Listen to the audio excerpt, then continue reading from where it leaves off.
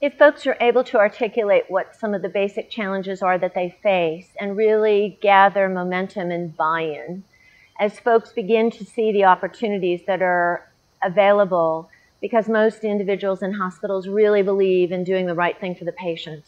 And if those benefits are articulated, that seems to not be self serving, but rather going down the path of doing the right thing. And from that come other benefits that it helps the team, it helps the hospital stay proficient and prolific. In order to provide excellent care, you have to be there. You have to be an institution that grows every day and stays every day.